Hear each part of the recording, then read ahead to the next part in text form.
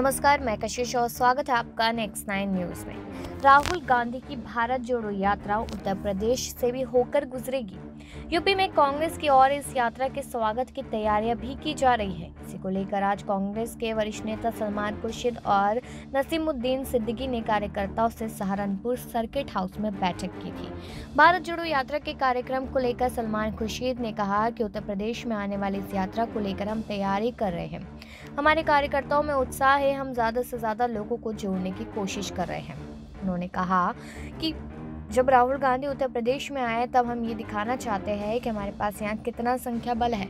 लोगों का उनसे जुड़ाव कितना हुआ है, दिल से लोग उनका स्वागत करना चाहते हैं। बड़ी उम्मीदों के साथ उत्तर प्रदेश में उनका आगमन होगा।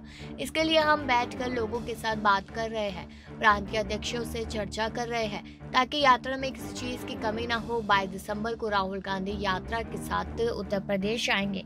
हम लोग मिलकर उनका स्वागत करेंगे, उसके बाद हम आगे का कार्यक्रम को तय भी करेंगे। नगर निगम चुनाव की तैयारी और आम आदमी पार्टी से मुकाबले को लेकर उन्होंने कहा कि हार और जीत की बात हम नहीं कर रहे हैं। जो पार्टी पॉलिटिकल पार्टी होती है, उनका लक्ष्य अंततः चुनाव जीतने का होता है। लेकिन चुनाव में जीत और हार के बहुत सारे कारण होते हैं। लोग कहते हैं कि भारतीय जनता पार्टी बहुत मज़बूत है। वो मज़बूत है तो हिमाचल में क्यों हार गई?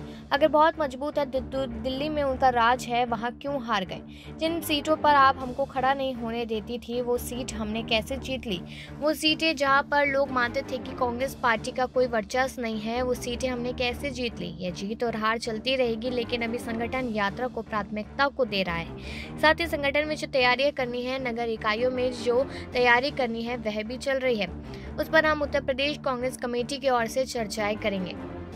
नगर निगम चुनाव में प्रतिनिधित्व के सवाल पर सलमान खुर्शीद ने कहा। प्रियंका गांधी का जादू हिमाचल में चल गया, यहाँ नहीं चला तो पूछना ये चाहिए कि जो यहाँ नहीं चला, हिमाचल में कैसे चल गया? कई कई ऐसी परिस्थितियाँ हैं जिनको हमें ठीक करने के लिए प्रयास करने होंगे, वह चल रहे हैं। इमरान मसूद की पार्टी छोड़ने पर खुर्शीद ने कहा कि हम में आप मेरे से पूछ सकते हैं कि मैं पार्टी में क्यों हूँ।